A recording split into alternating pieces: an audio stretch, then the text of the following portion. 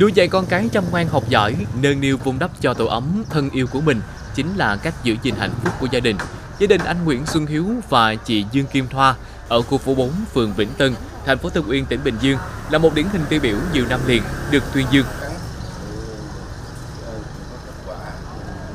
Có dịp đến thăm và chuyện trò với anh Hiếu và chị Thoa, chúng tôi càng hiểu hơn về sự sẻ chia, tình yêu thương và trách nhiệm của mỗi thành viên trong gia đình này khi xây dựng tổ ấm hạnh phúc. Là gia đình văn hóa tiêu biểu nhiều năm liền, vợ chồng anh chị luôn ý thức rằng nền tảng để xây dựng một gia đình hạnh phúc bền vững chính là tình yêu thương, sự tôn trọng và cùng nhau nuôi dạy con cái. Anh chị đôi duyên vợ chồng từ năm 2011 đến nay họ đã có hai bé. Bé gái lớn năm nay vào lớp 7, bé trai thì chuẩn bị vào lớp 2. Cả hai bé đều là con ngoan trò giỏi, cháu ngoan bác Hồ.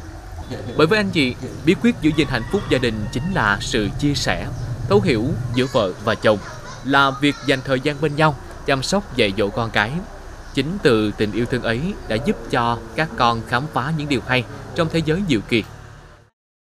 Để mà giữ vững một cái gia đình văn hóa thì à, à, bản thân à, mỗi người ai cũng có một công việc riêng nhưng mà khi mà về gia đình thì à, luôn dành sắp xếp thời gian hợp lý để dành cho gia đình. Riêng đối với nhà em thì à, hạnh phúc đơn giản là chỉ là một bữa ăn gia đình À, qua những bữa cơm gia đình thì à, gắn kết những cái đoàn viên lại với nhau hơn à, cùng nhau trò chuyện chia sẻ với nhau nên là hiểu nhau hơn tạo cho một cái gia đình thì vui vẻ ấm áp hạnh phúc Chị Dương Kim Thoa hiện là giáo viên trường mầm non Vĩnh Tân, thành phố Tân Uyên. Công việc ở trường tuy bận rộn, nhưng chị luôn biết cách sắp xếp để có thời gian cùng anh vun vén cho gia đình nhỏ của mình. Còn anh Nguyễn Xuân Hiếu trước kia làm công nhân cơ khí, nhưng từ khi anh chị có con, không ai đưa rước con đi học nên anh nghỉ việc công ty về nhà kinh doanh buôn bán và chạy xe dịch vụ để thuận tiện cho việc đưa rước các con. Có anh làm hậu phương vững chắc, chỉ có thêm động lực và yên tâm tận tụy với công việc trồng người. Cô Thoa là một giáo viên trẻ, yêu nghề, mến trẻ, cô luôn tâm huyết với à, công việc của mình. Thì à, ở trường á, thì à, cô Thoa là một giáo viên giỏi của trường. Nhiều năm cô đạt giáo viên giỏi cấp thành phố và đạt giáo viên giỏi cấp tỉnh.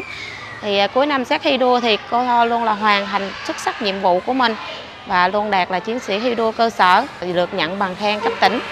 À, ngoài à, giỏi việc trường thì công việc nhà của cô Thoa thì cô Thoa là một người phụ nữ rất đảm đang. Cô là một người mẹ gương mẫu dạy các con mình à, học rất là chăm ngoan. Gia đình của anh Hiếu với lại chị Thoa là một gia đình đó thì hòa thuận và nuôi dạy con cái tốt.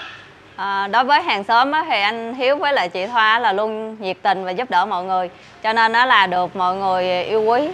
nhờ cái sự nhiệt tình và năng nổ á, thì gia đình của anh Hiếu và chị Thoa đại diện cho phường tham gia gia đình văn hóa tiêu biểu tại thành phố và đạt được giải nhì. Đối với việc tham gia hội thi gia đình văn hóa, thể thao tiêu biểu tỉnh Bình Dương năm 2024 nhân ngày gia đình Việt Nam vừa qua, anh chị hào hứng kể được sự động viên và tạo điều kiện của các cấp hội để được tham gia hội thi cấp thành phố rồi đến cấp tỉnh. Cả nhà chị đã cố gắng luyện tập nghiêm túc các nội dung thi, nhất là phần thi gia đình tài năng bởi với anh chị, được tham gia hội thi là một vinh dự và cũng là cơ hội để gia đình cùng nhau ôn luyện các môn thể thao ở phần thi gia đình vui khỏe